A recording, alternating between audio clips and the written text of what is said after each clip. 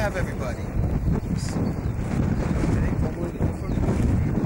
Would y'all like to come over and see it now? Of course, being this 1B1 bomber. And you have your pilot. He's kind of like your quarterback. He's responsible to make sure day-to-day operations and certain things happen. He calls the shots, so to speak.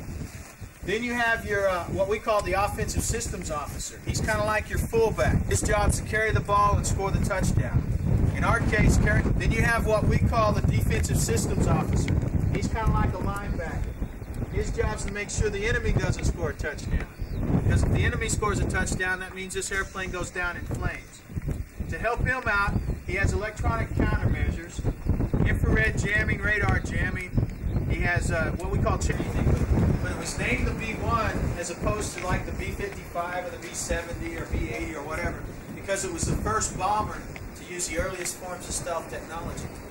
As an example, the B-52, when it was picked up on radar, it looks like the moon coming in after you. The uh, B-1, when it's picked up on radar, it's about the size of a penny.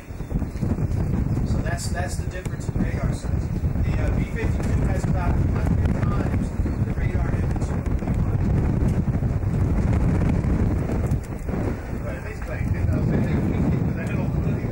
Well, the, the funny thing about it is a lot of the people that fly in B-1s used to fly the B-1.